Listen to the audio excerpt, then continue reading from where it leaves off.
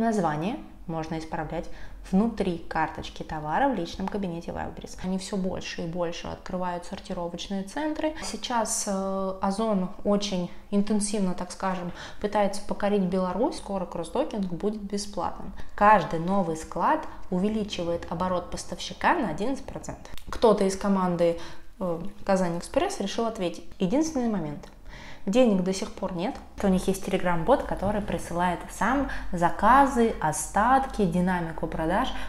Привет, меня зовут Анастасия, я рассказываю о маркетплейсах, и сегодня наша с вами любимая рубрика, а если вы первый раз смотрите это видео, то поверьте, будет любимая рубрика, это новости маркетплейсов. Продолжайте смотреть, пройдемся сегодня по трем маркетплейсам, обсудим их и узнаем что-нибудь новое.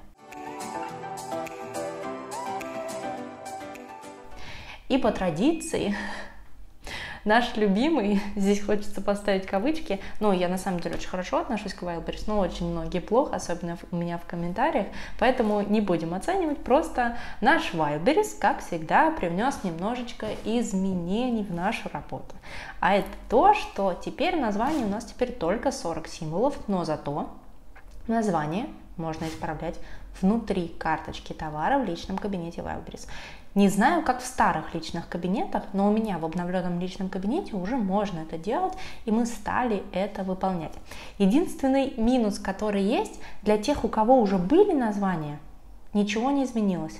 Как были 100 символов, так и остались. Названия не урезали. А для новеньких пока только 40 символов. Но с другой стороны, я бы вообще не стала расстраиваться. Сколько есть, столько и есть. С этим тоже можно работать, и не надо говорить о том, что вот мы бедные несчастные, нам теперь символов не хватит или еще что-то. Я буду, в принципе, в той же ситуации, потому что после, в последнее время, после того, когда обновляли карточки товара, все названия слетали. И у меня теперь будет тоже 40 символов. Поэтому я не расстраиваюсь, работать с этим можно. Тем более я вам рассказывала, кстати, в одном из последних видео, как я увеличила количество категорий просто в два раза без использования названия. Поэтому это не страшно. Главное, что хотя бы теперь можно нам самостоятельно, без использования бота, а наш бот умел это делать, без использования бота изменять название. В любом случае будем с вами это делать. Ну и по поводу Wildberries давайте еще немножечко только поговорим. Это то, что они все больше и больше открывают сортировочные центры, а, некоторые вводят платную приемку, но это мне знаете, что напоминает? Где-то, по-моему, два года назад Wildberries очень быстро открывал ПВЗ, и в них можно было сдавать поставки по ФБО. Потом это прикрыли. Потом они открывали ПВЗ, которые принимают ФБС. Потом тоже все прикрыли. Потом тоже были вот такие вот не сортировочные центры, а раньше это называлось пункты приема. Их много-много открывали, потом все закрыли. Вот сейчас такая же ситуация. Надеюсь, не будет так, как было до этого, но кто знает, поэтому, может быть, сортировочные центры ждет такая же судьба. Но как бы будем надеяться, что Бакальчук и ее команда адекватно относятся к ситуации, и в этот раз такого не будет. Сегодня 1 августа, возможно, у вас уже второе, а это значит, что я сейчас нахожусь в Питере, и мы готовимся к вебинару, посвященному нашему курсу. Курс, сразу скажу, спойлер небольшой для менеджеров, но в любом случае, я думаю, будет всем интересно, расскажем полезную информацию о том, как стать менеджером и какие профессии менеджеров сейчас востребованы. Ссылка на регистрацию на вебинар есть в описании и будет в закрепленном сообщении к этому видео. Все, спасибо, давайте продолжать. Теперь с вами перейдем на Озон. Приятные новости, я надеюсь, вы уже слышали ну, я думаю, уже многие об этом сказали и говорили, немного, так скажем, спойлерили, когда после как раз вот ужина, закрытого ужина Озон, нам же сказали, что скоро кроссдокинг будет бесплатным. Так вот, с 26 июля кроссдокинг, по-простому транзит, теперь стоит всего лишь 1 рубль.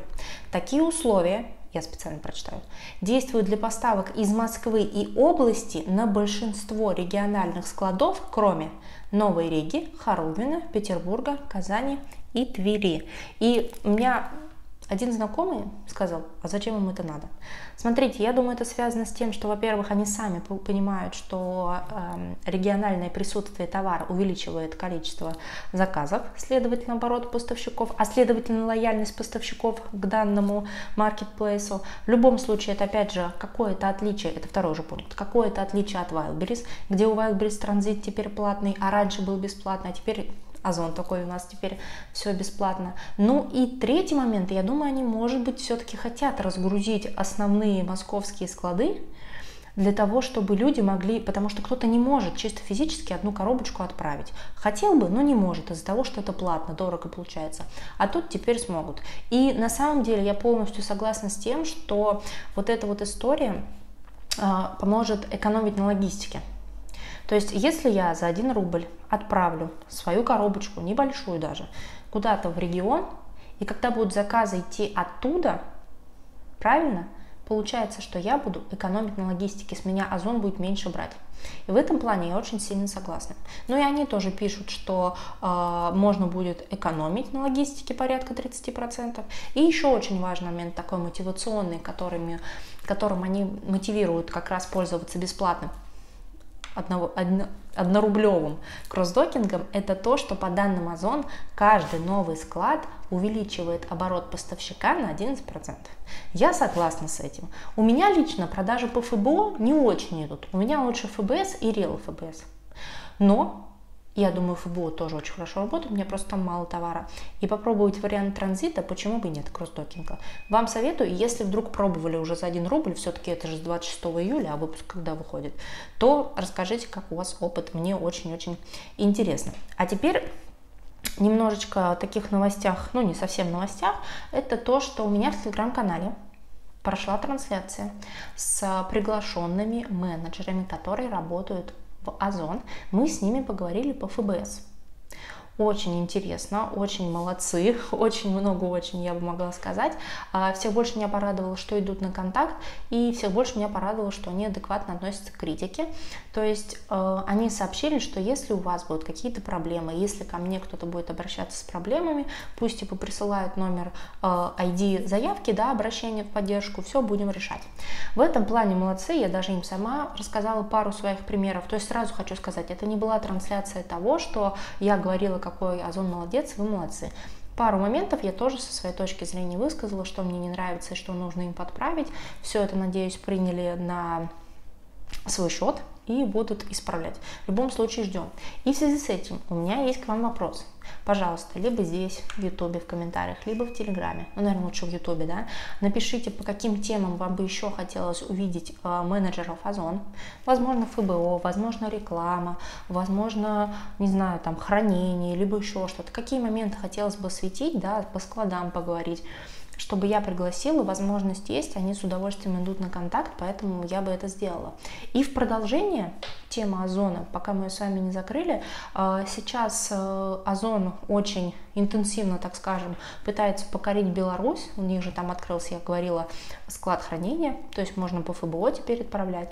Они дают большое количество информации, но, наверное, до большинства она не доходит, и многие не знают. Так вот, если вы поставщик из Беларуси. Пожалуйста, напишите тоже здесь в комментариях о том, что вам интересно а, послушать менеджера Озон из Беларуси. И вообще, в принципе, интересна тема Озон в Беларуси, чтобы я могла ориентироваться на вас, возможно, какие-то отдельные ролики снимала, ну и плюс приглашала менеджеров. Вот такой большой пул вопросов я вам накидала. У всех своя тема, у всех своя заинтересованность, поэтому обязательно в комментариях пишите, будем собираться и в Телеграме организовывать такие трансляции. И, кстати, трансляция, которая была с менеджерами Озон по ФБС, она тоже в Ютубе. Поэтому не пропустите. То есть мы всегда все записываем. На этом по Wildberries, по Озон мы поговорили. Но теперь у нас с вами остался еще, пока еще не сильно заметный, но достаточно интересный маркетплейс Казань Экспресс. Сразу хочу сказать, заказы у меня там идут. Мы делаем поставки. По-моему, еще три поставки сделали. Это радует, там продается. Единственный момент. Денег до сих пор нет, и вот тут я что же хотела вам рассказать. У Казань Экспресса есть свой телеграм-канал. И тут, видать, высказались либо основатель, либо кто э, Казань Экспресс, потому что очень много было негатива, в поддержку везде писали, на них уже там условно, наверное, и в суд подавали, либо еще что-то, потому что нарушают договор.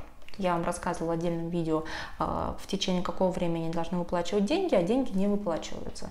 И в итоге на них лилось много негатива, и вот э, кто-то из команды Казань Экспресс решил ответить. Там было огромное количество сообщений просто от них. Читать, не перечитать. Но смысл посыла в том, что, как бы, извините, мы все понимаем, но вы тоже нас поймите, мы вкладываемся в рекламу, мы хотим, чтобы э, у вас было еще заказов. Вот, например, как они сказали, сейчас, секунду, что они купили 119 баннеров. Да, они купили э, четверть баннеров, четверть всех городских баннеров в 119 городах до ноября. То есть, условно, везде будут баннеры Казань Экспресс, еще бы с моими товарами, конечно. Но неважно. Э, вы купили баннеры, то есть будет максимальное количество рекламы. Но самое это интересное, я что обнаружила, в Москве это Казань Экспресс нет. Ну, как бы основной это трафик, продаж все равно, понятное дело, в регионах тоже есть, в Питере есть, там в других больших городах есть. Но Москва большой город, и их тут нет. В общем, они закрываются как могут, рассказывают о своих планах, про то, что мы там и рекламу закупаем, мы расширяемся и так далее. И вот поэтому у нас денег нет, вы нас простите, пожалуйста. Короче, там постов было очень много. Мне это не понравилось тем, что вот это вот все, что они написали, ну и что? Денег-то же все равно нет. И ладно, у меня там небольшие продажи, немного товара зависло, да, немного денег зависло, я могу понять. А есть поставщики, которые условно со всей прибыли сразу вкладываются, пока такая ситуация. И как они будут вкладываться, если денег до сих пор нет? В общем, осуждать их не будем, но высказались они, конечно, знатно. Вот знаете, единственное, чем меня радует Казань Экспресс, это тем, что у них есть Telegram-бот, который присылает сам заказы, остатки, динамику продаж. Вот это меня радует. То есть автоматически приходит, если поступает заказ. Это уже более, знаете, похоже на такую технологичную компанию, которая заботится от своих э, поставщиках. Ну, нежели, допустим, другие маркетплейсы. По-моему, только у Яндекс Маркета, э, по-моему, только у Яндекс Маркета аналогичная функция реализована, у них тоже можно получать заказы через бот. Но вот по ФБС точно можно было, я знаю, мне приходили. Поэтому в этом плане молодцы, но это пока, наверное, прям глобально единственный плюс, ну, за исключением там комиссии единой, да, в остальном пока вот из-за того, что нет денег, это все перекрывает. Но опять же, это не говорит о том, что на эту площадку не нужно уходить. Если они, по крайней мере, пытаются а, максимально возможно рекламировать себя, следовательно, это приведет трафик на эту площадку, а мы как продавцы получим этот трафик. Поэтому те, кто есть сейчас, молодцы. Да, возможно, сейчас мы не получаем деньги, но я думаю, они вернутся. На этом все. Спасибо большое, что смотрели мои новости. Очень рада, что подписываетесь, что, возможно, это э, первый раз, когда вы смотрели мои новости, вы останетесь на этом канале. Не забудьте поставить колокольчик, чтобы не пропустить следующие выпуски, ну и вообще другие видео. И не забывайте следить за новостями и за моими каналами. Ссылки есть в описании.